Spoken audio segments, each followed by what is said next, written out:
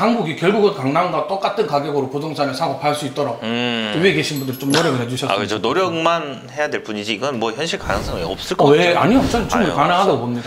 자, 일단 첫 번째 이유로 음. 확장의 범위가 달라요. 제가 볼 때. 음. 자, 뭐냐면 일단 우리는 분단 국가예요. 그래서 그렇죠. 음. 위가 막혀 있는 상황. 뭐 물론 아래도 막혀 있지만 서울에서 갈 수 있는 거리가 위쪽보다 아래쪽의 확장성이 더 넓다는 얘기죠. 음.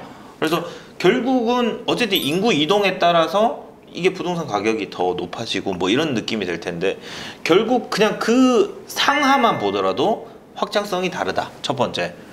두 번째는 일단은 이 갭매우기라고 저는 뭐 삼타 변상이라고 말씀하셨는데 저는 갭매우기나 이웃 효과라고 얘기를 음. 주로 하는데 맞습니다. 강남 못 사면 그 옆에 뭐 소초라도 사야 되고 소초 못 사면 동작이라도 사야 되고 강남 못 사면 송파라도 사야 되고 그거 못 사면 강동구라도 사야 되고 그거 못 사면 저기 하남이라도 사란 얘기를 하는 거예요 저도.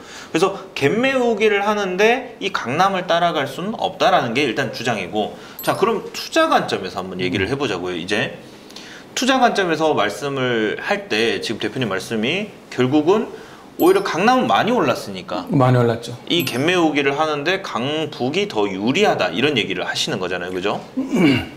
강남은 네 저는 이런 표현이 좋을지 모르겠는데 그들만의 리그라고 저는 생각합니다. 음. 강남 3구는 예를 들어서 세제가 아무리 강력하게 이렇게 바뀌어도 이제 재력이 있는 분들이 워낙 많으니까 네. 뭐 어때 음. 뭐 서른 평짜리 아파트 3, 40억 해도 현금으로 손에 사면 되지 뭐 네네, 현금이잖아요 네. 그죠?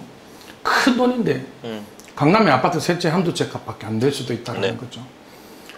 그러면은 일반 사람들이 그렇게 갭이나 뭐 이렇게 투자를 하는 건 사실 힘들고 내가 30억을 주고 강남에 있는 아파트를 하나 샀을 때 과연 세월이 지났을 때 이게 얼마까지 음. 올 것인가 그리고 똑같은 30억이 있다면 강북에 있는 아파트를 10억짜리를 셋째 샀을 때 음. 뭐 똘똘한 한 채로 옮겨가는 경향이 있어서 지금은 뭐 단순 비교가 좀 힘들긴 합니다만은 강남이 오를 때 강북도 같이 오른다라는 거거든요. 강남이 30억짜리가 60억이 될 수는 없어요. 음.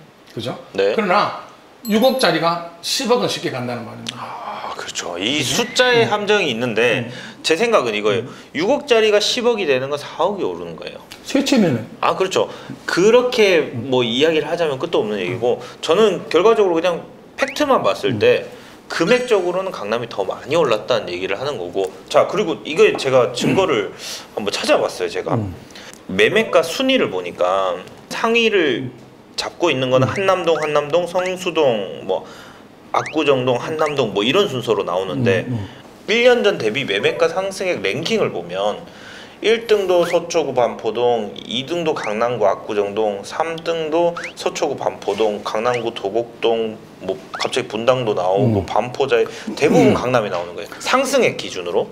그러니까 이걸 보면 지금 말씀하신 대로 비율로 보면은 음. 맞는 말이다. 대신 그걸 열 채씩 사들고 있으면 그게 맞는 말이지만 결론적으로는 상승액으로 보면 강남 뭐 이 삼 강남이죠. 세 개의 강남이 결국은 더 상승액으로 치면 더 높다 이런 얘기를 하고 싶은 거죠.